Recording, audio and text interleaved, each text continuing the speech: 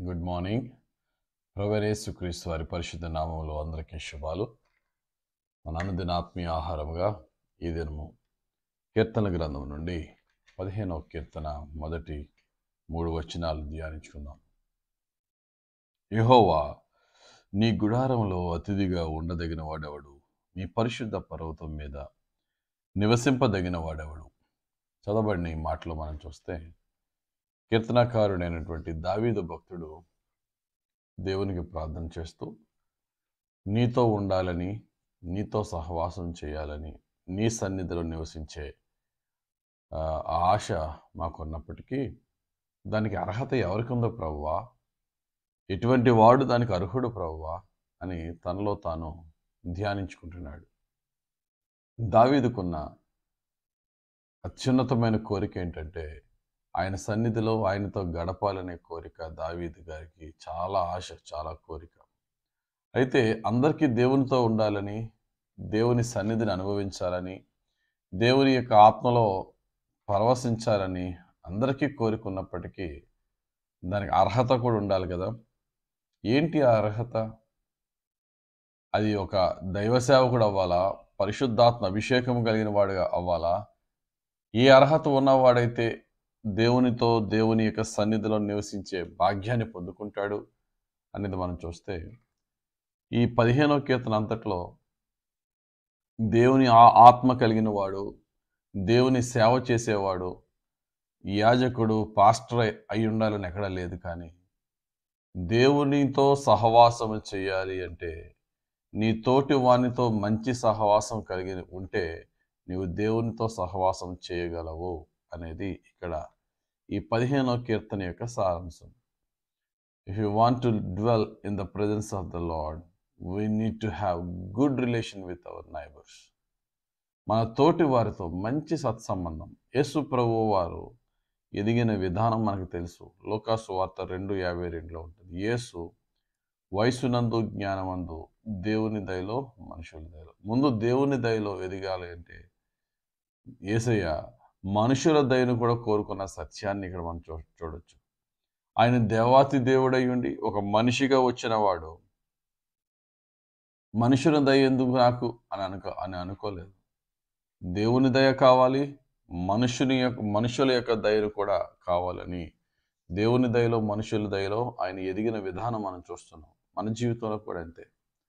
దేవుని దయ మన మీద హెచ్చుగా ఉండాలంటే మనుషులతో మనం ప్రవర్తించే ప్రవర్తన చాలా ఇంపార్టెంట్. దేవుని యొక్క సన్నిధి ఆయన ప్రసన్నత ఆయన ఆత్మ నిత్యం మనతో ఉండాలి అంటే మనం ఎదుటి వారితో ఎలా ప్రవర్తిస్తున్నాం? అందుకని అంటాడు రెండు మూడు వచనాలు. యథార్థమైన ప్రవర్తన కలిగి నీతిని అనుసరించి హృదయపూర్వకంగా నిజం పలుకువాడే అట్టివాడు నాలుగుతో కొండములాడడు తన చెలికానికి కీడు చేయడు తన పొరుగు వాని మీద నింద మోపడు. అంటే నో గాసిఫ్ పక్కనోడి మీద పనికి మాటలు మాట్లాడకుండా తన స్నేహితునికి ఏ విధంగా కూడా కీడు చేయకుండా తన పొరుగువాని మీద నింద మోపకుండా తన పొరుగువాడు స్నేహితుడు కాకపోయినా అటువంటి వాళ్ళ మీద నింద మోపకుండా ఒకవేళ స్నేహితుడైనా అతనికి కీడు చేయకుండా అసలు ఎవడో తెలియని వాడైనా వాడి మీద ఏ విధమైనటువంటి గాసిఫ్ మాట్లాడకుండా అది మాటతో కానీ క్రియతో కానీ ఉద్దేశంతో కానీ పక్కన వానికి హాని చేయని వాడికి దేవుని యొక్క తోడు దేవుని సన్నిధి ఉంటుంది. కాబట్టి ఈ దినమని దేవుడు ఇస్తున్న మాట ఏంటంటే దేవుడు నిత్యము మనతో ఉండాలి మనము దేవునితో ఉండాలి దేవుని సన్నిధి మనతో ఉండాలి అనే ఆశ కలిగిన వారమైతే మన తలపులో కానీ ఉద్దేశంలో కానీ మాటలో కానీ క్రియలో కానీ ప్రక్కన వారికి ఏ విధంగా కూడా కీడు తలపెట్టకుండా ఉంటే దేవుడు మనతో ఉంటాడు. This is one of the secrets to have good fellowship with the Lord దేవునితో మంచి సహవాసం ఉండాలి అంటే ఉండవలసిన ముఖ్యమైన క్వాలిటీ ప్రక్కన వానితో మంచి సహవాసం కలిగి ఉంటే దేవునితో మనకి మంచి సహవాసం కలిగి ఉంటాం. ప్రతి ఒక్కని ఆశ పరలోకంలో దేవునితో ఉండాలి. అని పరలోకానికి చేరాలి పరలోకంలో దేవునితో ఉండాలి అంటే ఈ భూమి మీద ఉన్నప్పుడే దేవునితో సహవాసం కలిగి ఉండాలి. ఈ భూమి మీద ఉన్నప్పుడే దేవునితో మంచిగా సహవాసం కలిగి ఉండాలి అంటే మన తోటి మనుషుల పట్ల మనం మంచితనాన్ని చూపించే వారమై ఉండాలి. ఆత్మ ఫలంలో ఒకటి గుడ్నెస్ మంచితనం. మంచితనం అంటే మనం చెడు అలవాట్లు ఏమి లేకుండా ఉండడమే మంచితనం అనుకుంటారు కానీ అసలు మంచితనం అంటే గుడ్నెస్ అంటే ఏంటంటే బీయింగ్ గుడ్ విత్ అదర్స్ నాకు నేను మంచివాడిగా ఉండడం అది మంచితనం కాదు. ఏ అలవాట్లు లేకుండా ఏ తప్పుడు పనులు చేయకుండా నీతిగా ఉండడం అది మంచితనం కాదు. మంచితనం అంటే నువ్వు ఎదుటి వారితో ప్రవర్తించే ప్రవర్తన వాని పట్ల చూపే ప్రేమ వానికి మనం ఇచ్చే గౌరవం ఇవన్నీ కూడా మన మంచితనాన్ని చూపిస్తాయి. కాబట్టి దేవా నీ సన్నిధి నాకు కావాలి నీ ప్రేమ నాకు కావాలి నీ దయలో నేను ఎదగాలి అంటే ముందు నేను మనుషుల దయలో ఎదగటానికి కావలసిన ప్రేమను మర్యాదను నాకు నేర్పు ప్రవ్వా అని దేవుణ్ణి అడుగుదాం. మన తోటి వారి పట్ల మంచిగా ఉందాం. మాట తలపు చూపు క్రియలో కూడా ఎవ్వరికి హాని చేయకుండా సాధ్యమైనంత వరకు అందరితో సమాధానం కలిగి ఉందాం. అప్పుడే దేవుని దయలో కూడా మనము వర్ధిల్లుతాం.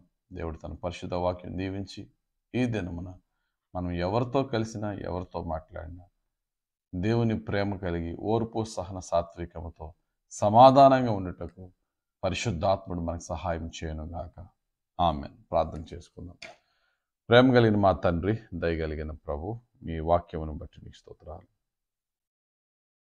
ధ్యానించిన వాక్యం అంతటిలో మాకు తోడుగా ఉన్నారు.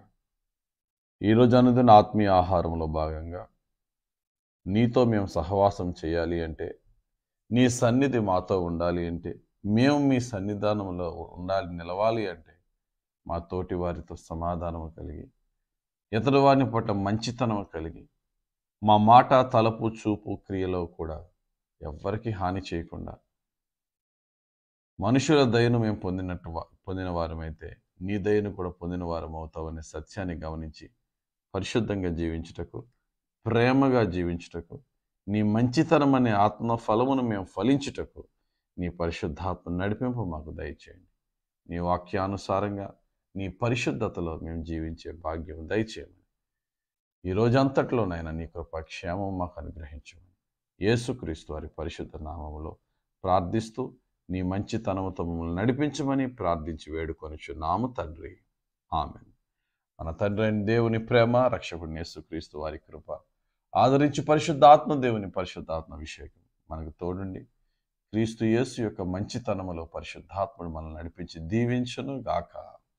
ఆమె ఆమె ఆమె God bless you. Have a blessed day.